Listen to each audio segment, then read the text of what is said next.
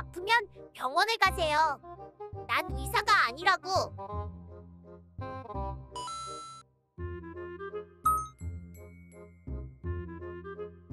우리과 교수님도 주식 망했습니다. 질문 안 받습니다.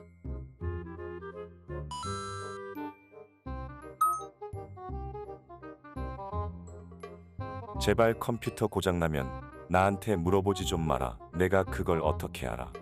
껐다 켜보고 그래도 안 되면 수리기사님 불러 나한테 물어보지 말고. 그리고 컴퓨터 맞춰달라고 하는 애들 있는데 30만 원으로 고사양 게임 돌아가는 컴퓨터 맞춰달라고 하면 진짜 개세게 인중 때리고 싶거든. 인터넷 보니까 컴공과들은 한 번씩 당하던데 크크. 난 그래서 그냥 컴퓨터 조립 못한다고 하고 다님 크크.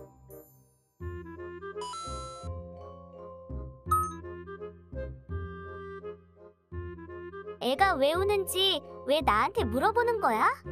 오은영 선생님한테 물어봐.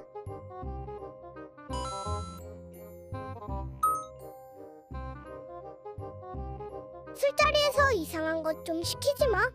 노래라던가 개인기라던가 아무리 나라도 갑자기 시키면 창피하다고.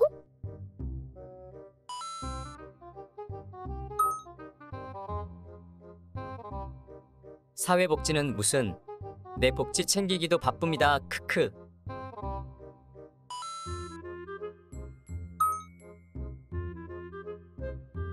수능 점수 좀 안 물어보면 안 될까? 그리고 반에서 1등 해봤냐고 좀 그만 물어봐.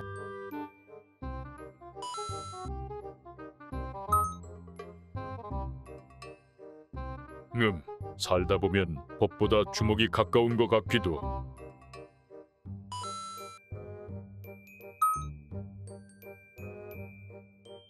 본인 자기소개서는 자기가 쓰는 게 맞지 않을까?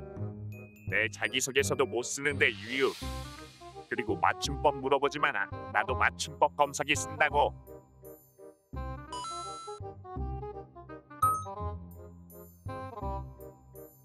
나보고 졸업하고 치킨집 차릴 거냐고 물어보는데 누구 약 올리냐? 근데 진짜 졸업하면 뭐 하지?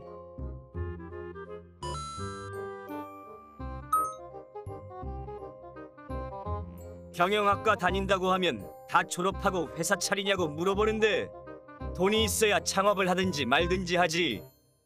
아 말이 나와서 그런데 너 돈 좀 있냐?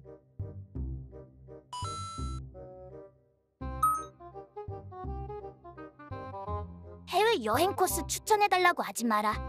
나도 패키지 여행 간다고. 크크.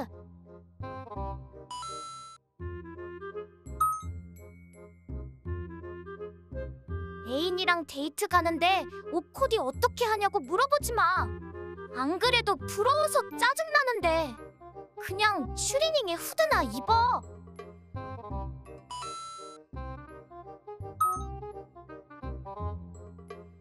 아, 기자 난다고. 나도 기자 싫어하거든.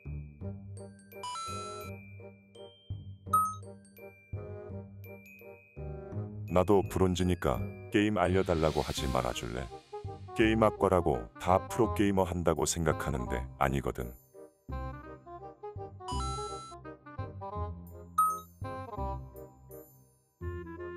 포토샵 좀 안 물어보면 안 될까?